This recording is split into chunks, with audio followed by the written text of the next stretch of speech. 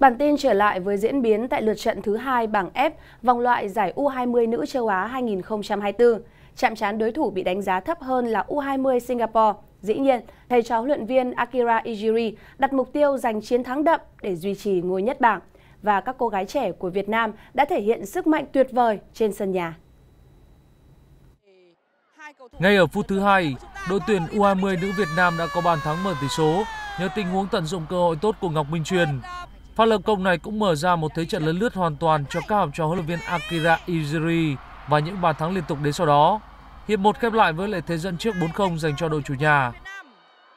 Khi hiệp 2 bắt đầu, ba huấn luyện đội tuyển U20 nữ Việt Nam yêu cầu các cầu thủ tấn công tổng lực và ghi thêm nhiều bàn thắng để vươn lên dẫn đầu bảng xếp hạng. Và trong một ngày tận dụng cơ hội tuyệt vời, các cầu thủ trẻ Việt Nam đã có 11 lần chọc thủng lưới đội tuyển U20 nữ Singapore, qua đó đạt được mục tiêu đề ra. Chiến thắng này giúp đội chủ nhà dẫn đầu bảng F vòng loại giải U20 nữ châu Á 2024. Dù bằng điểm đội tuyển U20 nữ Ấn Độ, nhưng Việt Nam hơn về chỉ số phụ.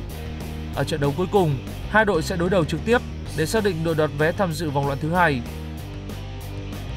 Sau khi kết thúc nhiệm vụ cùng đội tuyển U20 nữ quốc gia, huấn luyện viên Akira Izuri sẽ tiếp tục cùng đội tuyển nữ U17 chuẩn bị cho vòng loại giải U17 nữ châu Á 2024 theo kế hoạch, các cầu thủ trẻ sẽ tập trung tại Liên đoàn bóng đá Việt Nam từ ngày hôm nay và có hơn một tháng tập luyện để hướng tới giải đấu.